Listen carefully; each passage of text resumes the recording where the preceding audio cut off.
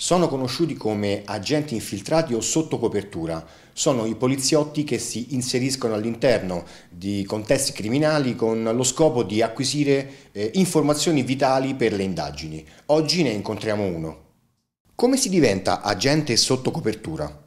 Per diventare agente sotto copertura eh, innanzitutto bisogna fare un test eh, psicotitudinale e, e, successivamente, una volta idoneo a questo test, si, si, fa il corso di formazione presso la Direzione Centrale dei Servizi Antidroga e, e di alta formazione. Vengono insegnate le tecniche di, di infiltraggio, di aggancio, le, vengono insegnate la, soprattutto la materia giuridica.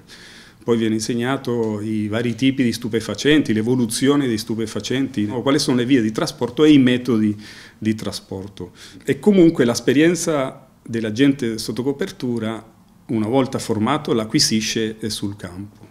Questi corsi sono effettuati sia di, da, da, personale della Polizia di Stato che eh, delle altre forze dell'ordine e anche degli enti antidroga esteri. La legge del 2010 dà un senso alla, sia legale sia della, de, de, di partecipazione per gli agenti sotto copertura non solo nell'ambito eh, antidroga ma anche per la tratta di persone, per riciclaggio e, e per terrorismo. Quali difficoltà, soprattutto di natura psicologica, si incontrano in questa particolare attività e quali caratteristiche deve possedere un agente per svolgere al meglio il suo lavoro?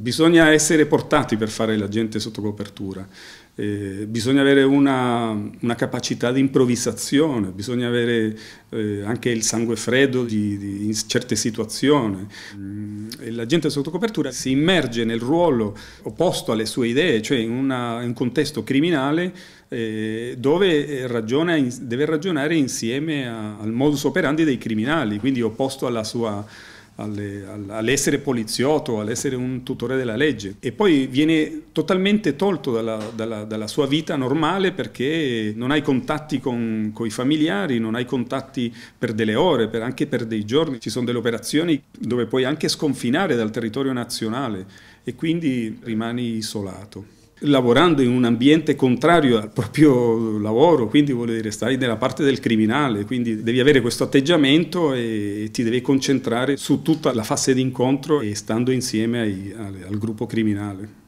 Ci vuole raccontare un'operazione a cui lei ha partecipato? Era un'operazione antidroga eh, dove bisognava consegnare un quantitativo circa di 250 kg di, di cocaina a vari gruppi criminali. Il primo episodio dove, dove mi sono trovato un po' in difficoltà è, è durante una trattativa all'improvviso questo gruppo ha iniziato a fare determinate domande dove al momento non sapevo che rispondere, quindi eh, lì nasce la capacità di, di, di, di improvvisare, di, doverti inventare qualcosa in secondi perché ne va di tutta l'operazione o anche della propria incolumità.